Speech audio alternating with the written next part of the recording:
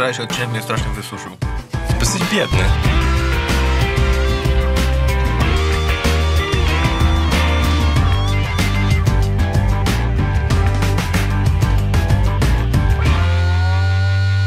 Jeszcze raz dla przypomnienia, żeby poznawać ludzi trzeba. Poznawać ludzi. Jeszcze raz to powtórzmy. Żeby poznawać ludzi? Trzeba poznawać ludzi. Drodzy Państwo, pamiętacie naszego ulubieńca, aktualnie panującego jeśnie e, prezydenta? Właśnie panującego? Panującego, hrabie Jana Zbigniewa Potockiego. Ten, który zajmuje się różnego typu działalnością i wydaje dowód drugiej Rzeczypospolitej suwerena. Jeżeli ktoś z was na przykład nie za bardzo jest fanem e, obecnej władzy, nie za bardzo jest fanem PiSu, nie za bardzo jest fanem pana prezydenta Andrzeja Dudy, to, może sobie ma wybór. Tylko pytanie, czy ten dowód będzie respektowany przez policję właśnie, nie do końca chyba. A mogłoby być inaczej? Mogłoby być inaczej. Jak Czyżbyś miał jakiś mail na ten temat? Tak, Michał do nas napisał. Witajcie drodzy Karolu i Włodku. Cześć Michał, bardzo Witamy. miło, że oglądasz. Ostatnio natknąłem się na bardzo ciekawy film. O. Nie, nieważny jest w tym oryginalny sens filmu. To nie, ja się nie zgadzam. E, najbardziej musimy się skupić na fragmencie, który zaczyna się od 1.49. Gdy to zatrzymamy, podaje dokument tożsamości suwerena II RP. Od razu zapaliła mi się lampka. W 2.46 interweniuje on, On. prawowity władca nas wszystkich. Zauważyć możemy go już w 2.33. E, to tyle ode mnie. Życzę miłego dnia. Michał. Bardzo dziękujemy za takie maile. To są, to są maile, które zawsze są wartościowe, nam da, dają takie paliwo do lekkostronniczego, trochę jak paliwo do Lamborghini naszego wczorajszego e, mistrza.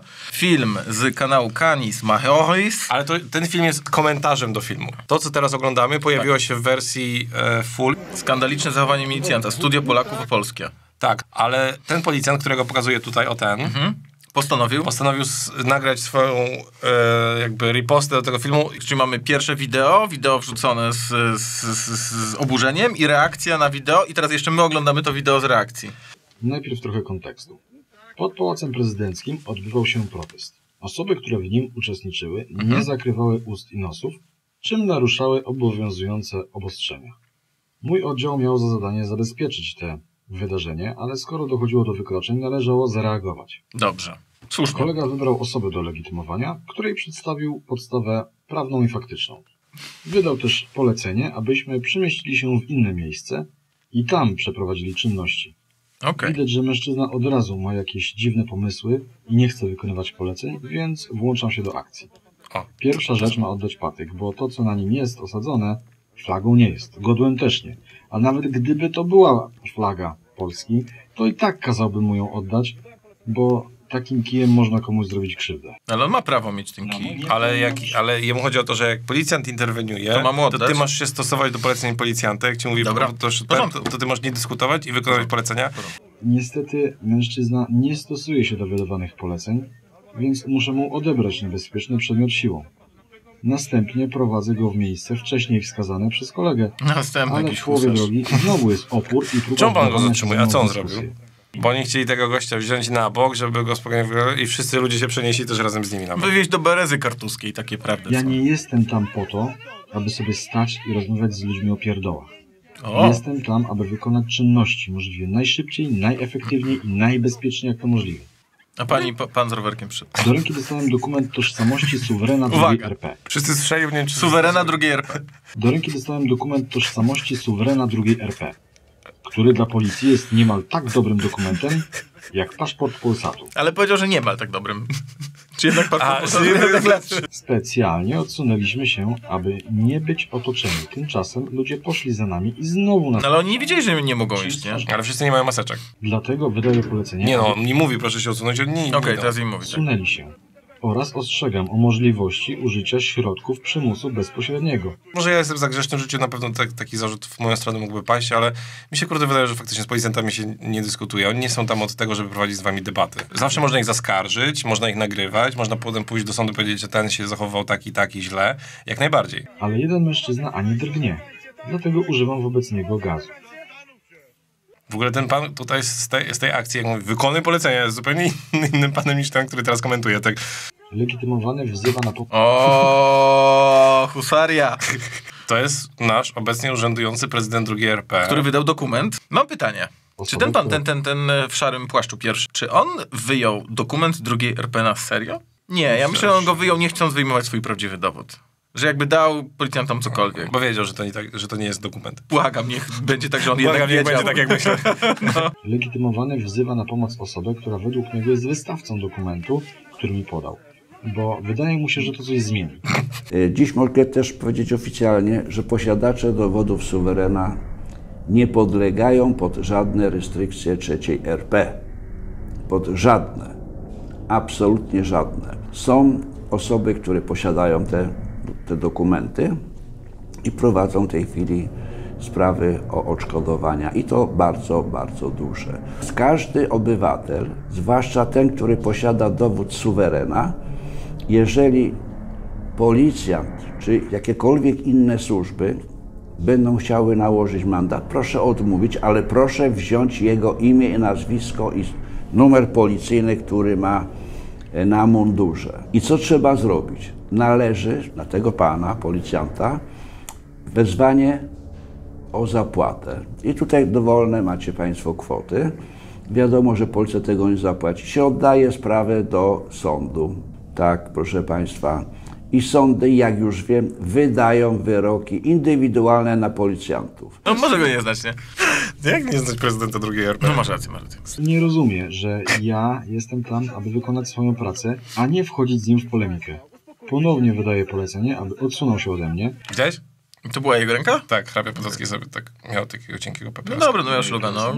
Kiedy mam już użyć środków przymusu, dosłownie w ostatniej sekundzie pojawia się aspirant, który zabiera tego mężczyznę. Dopiero teraz, policji po tam jest. minutach, muszę- Żeby wylegitymować jednego typa. No, dużo Gdyby policji to było legitymowanie spokojnego obywatela, który wykonuje polecenia i nikt nam nie przeszkadza, to już byśmy skończyli. Wszystko, co zobaczyliście, jest zgodne z prawem. Mam prawo wydawać wiążące polecenia, mam prawo zadbać o swoje bezpieczeństwo. Pamiętaj, że ty jako obywatel, oprócz tego, że masz swoje prawa, masz także obowiązki. Między Mhm. innymi jednym z twoich obowiązków jest wykonywanie poleceń policji. No. Wszelkie prześmiewcze komentarze w Prześmiewcze. stylu bał się dziadka, no to wiecie, gdzie możecie je sobie wsadzić. Każdy może być niebezpieczny i to w To prawda. najmniej oczekiwanych Co, że, że Każdy może być niebezpieczny. dziadek może ci Tak, oczywiście, oczywiście, tak. Oczywiście, to się zgadzam. Na moich interwencjach nie ma suwerenów. Jest tylko policjant i obywatel. Jak ci nie pasuje, idź się poskarżyć do prokuratora. Jak mam iść do prokuratora, jak prokuratorą rządzi Ziobro, który rodzinę Zbigniewa Stonogi cały czas nie chce jej przestać prześladować? Jeśli nie przestrzegasz prawa, nie wykonujesz poleceń, to jest krótko. Wezwanie do zachowania zgodnego z prawem, ostrzeżenie o użyciu środków przymusu bezpośredniego, a następnie użycie tych środków. I nie interesuje mnie, kim jesteś. Młody, stary, kobieta, mężczyzna, dziennikarz, poseł, ktokolwiek. Zasady są takie same dla wszystkich. Nawet dla youtuberów? Mm, Nie są takie same dla wszystkich? No nie. Bo jeżeli masz legitymację, która... E, Immunitet poselski? Na przykład, która mówi o twojej jakiejś nietykalności w pewnym sensie. i- Po co ma taką nietykalność? Że Nie, go nietykalność zatrzymać? osobistą. Ale nie, że nie, mo, nie może on mówi tylko o wylegitymowaniu. I że ma prawo każdego wylegitymować. Nawet Wyle... posła. No tak, dlatego właśnie poseł macha swoją legitymację. Przyzwyczailiście się, że policjanci stoją przy osobie legitymowanej i pół godziny grzecznie proszą, aby ta okazała dokument. U mnie jak ktoś powie, że nie wie kim jestem, bo na mundurze brakuje jakiejś naszywki i on mi nie wierzy, że jestem policjantem, No. to gość kwalifikuje się na ewaluację psychiatryczną. Chętnie mu wezmę karetkę i niech go obejrzy lekarz. What? Jak ktoś mi powie, że jestem bandytą, to od razu zatrzymuję za znieważenie. Pan Kanis Major się, widzę, nie trendoli z ludźmi. To się chyba trochę roz, rozdziela, nie? Bo z jednej strony mamy to, to ten jego em, schemat działania, to jak on postępuje z osobami, które chce wylegitymować, zatrzymać po kolei, nie? Ale dwa to to, co ogólnie ze sobą pewnym sensie i, w- i władza, i sama ze sobą policja zrobiła, jeżeli chodzi o ich odbiór. W sumie to jest trochę bardziej serio niż, niż, nie, niż nie serio, bo oczywiście tam Potocki i tak dalej, to jest prawda. Nie, Nie, bo bo chodzi że będzie bardziej śmieszne. tak, ja rozumiem, to ten pan chce robić. Ja rozumiem, że on chce wykonywać swoją pracę i że chce, i że chce mieć posłuch. Tylko chodzi o to, że nie tylko z winy tego policjanta, ale z winy w ogóle działań policji różnych,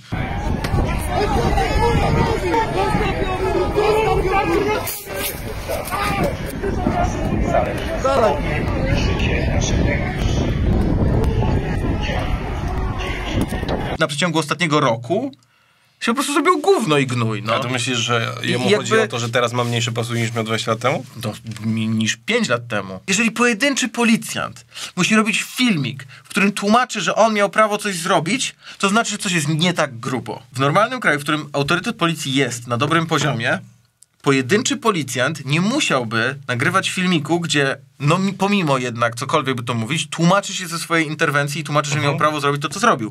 Bo wszyscy by, bo, bo nikt by się nie stawiał. Hejterzy się nagle jakoś wyciszyli co do Potockiego. Tam są jeszcze jakieś pojedyncze osoby, które mówią, że jestem Żydem, że jestem masonem, że jestem agentem. No ale to dobrze. Skoro mam te wszystkie fachy, to, szanowni państwo, kim są ci, którzy mnie hejtują? Oni mówią tylko i wyłącznie o sobie. To inny mail. Dobrze. Konkurs nawoływania świń idzie w metal.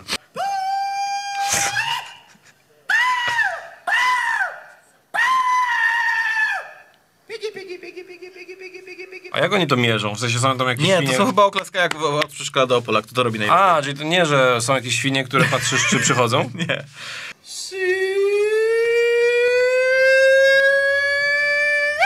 Come on, pig.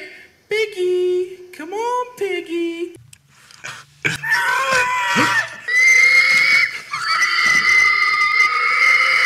Słyszałeś kiedyś prawdziwą świnię? One wydają taki odgłos. Zajebiście! O, oh, we got a winner. We've got a winner. We've got a winner. Suet, suet, suet, suet. Odpędzam cię COVID. Odpędzam cię COVID.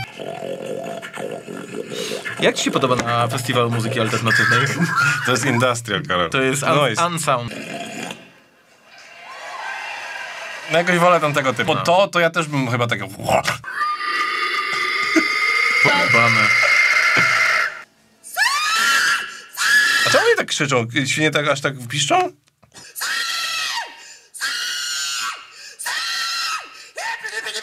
Ale one, oni to robią tylko na ten kontest, czy faktycznie tak te świnie sobie wołają? Nie mam pojęcia, stary. Dlaczego tylko w Stanach ludzie mają czasem takie sylwetki ciała ym, z... Nieprawda, w Europie też. Wiesz, że tyjemy jako społeczeństwo. Tak, ale to nie jest zwykłe tycie. W Polsce inaczej tyjemy. Znasz ludzi otyłych w Polsce? To są inaczej otyli ludzie. Tutaj właśnie... Powiesz mi, we're getting there. No ale dobra, no we're getting there because... I'm loving it. I like to get dirty. I'd like to get dirty? That's all, folks. Fajnie jak kończy, nie? That's all, folks. No. A jak wołasz swojego psa? Here, piggy, piggy. Ramen. Do mnie. Co przychodzi? Jak mam coś w ręce? Zobacz, ile ma ktoś ramenów. O, korgasy. Witajcie moi drodzy Karolu i Włodku, Włodku i Karolu. Jako, że w moich Wow. okolicach Mościska pod Warszawą, wiesz gdzie są Mościska? Totalnie, pod Warszawą.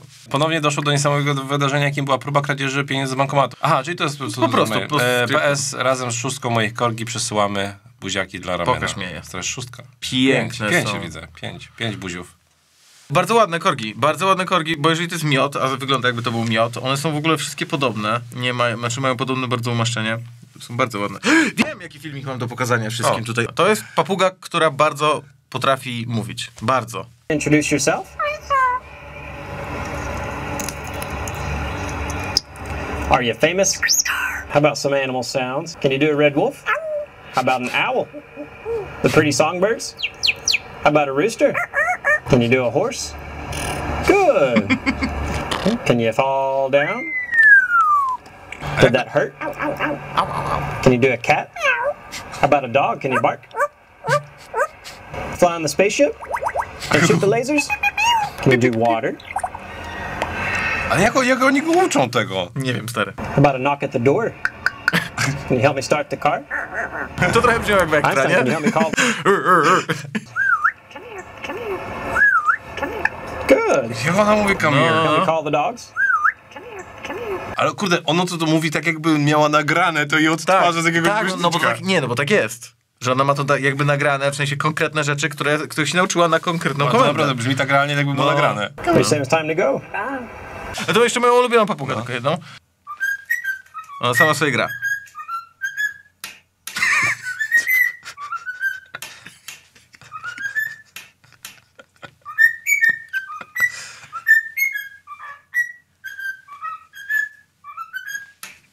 Stary, potrafiłbyś sobie wybijać rytm głową uderzając o podłogę?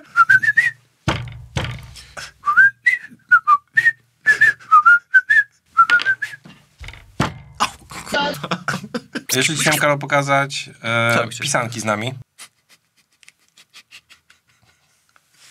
Bardzo piękne. Julka podesłała. Są piękne. Nie wiem, kto jest śmieszniejszy, powiem ci. Ale podobnie, nie? Tak. Natalka pisze. Witajcie moi drodzy i ci mniej drodzy. Odkąd oglądam wasz program, wspaniałe. Zawsze marzyłam, żeby napisać do was. Dzisiaj jest ten dzień, gdy się odważyłam, no i piszę. Chciałam wam serdecznie podziękować za to, że jesteście i za to, że tworzycie LS-a. Mam was na mojej tapecie na telefonie z napisem będzie dobrze i zawsze, gdy poznaję jakąś nową osobę, to pokazuję jej tapetę i pytam, czy was zna. Niestety nie znam nikogo, kto by was znał i oglądał. Znaczy, ja oglądam. No i smutne to, bo chciałabym mieć kogoś, z kim mogłabym się pośmiać oglądając wasz przezabawny program. Mam nadzieję, że znajdę w końcu taką osobę. Ale żeby było jasne, sama też się dobrze bawię. A i jeszcze dodam, że lubię lesowe piosenki. Ja się serio nie wczuwam. Lowki, Natalka to ja. Piękny mail, bardzo dziękujemy. Tylko Karol mi po prostu jakiś czas temu powiedział, że nie dodawał maili, które e, wyłącznie Ale- nas chwalą. Ale mnie chwycił za serce w pewnym momencie. Chwycił mnie za serce w pewnym A, momencie, bo, okej. bo napisała tak szczerze, że niestety nie znam nikogo, kto by was znał i oglądał. A, właśnie to chyba to, o to mi chodziło. Właśnie o to zdanie mi chodziło. Natalka, nie wiem, spróbuj Tindera czy coś. Natalia, wiesz, że spotkasz kogoś, z kim będziesz chciała oglądać LS-a i nie tylko to nie jest jedyna rzecz, którą będziesz chciała z tą osobą robić. I razem weźmiecie ślub, będziecie mieli piękną rodzinę, i dzieci, znajdziesz sobie fantastyczną pracę i tak dożyjesz starości. Nie umrzesz. Mus mi się już skończył. Mi też, mi też Skończył się, Spaliły mi się spaliły te się wody, nie? neuroprzekaźniki już nie To na... ja ci coś powiem jeszcze o komunikacji na koniec. Piotr Budzki w swojej książce Porozmawiajmy o komunikacji. Gdy czasem oglądam nagrania z moich wczesnych wystąpień, uśmiecham się z lekkim politowaniem. Widzę wiele potknięć. Gdy czytam moje pierwsze teksty, mam ochotę od razu napisać je od nowa. Gdy czasem w czeluściach twardego dysku natknę się na folder ze starymi slajdami, odczuwam zażenowanie. Wiem, że teraz potrafię lepiej. Wiem też, że za jakiś czas spojrzę na aktualne nagrania, teksty i prezentacje i też będę chciał je poprawiać. I ta perspektywa bardzo mnie cieszy, bo moment, w którym nie będę zauważał, nie będę chciał poprawiać i nie będę chciał nad sobą pracować, będzie groźny. Tu się, Ładnie, ładnie, fajnie pisze. wiesz, o komunikacji, jakby on się zajmuje komunikacją. Dziękujemy wam bardzo za oglądanie tego odcinka Lekkostronniczych. To był fantastyczny odcinek. Nie zapomnijmy spokój, może jednak. Może po prostu się pożegnajmy i zobaczymy w poniedziałek, co wy na to, dobra? Bardzo wam dziękujemy. Trzymajcie ciepło, uważajcie na siebie w weekend, ale przy tym wszystkim, przede wszystkim pozostańcie Lekko. stronniczy.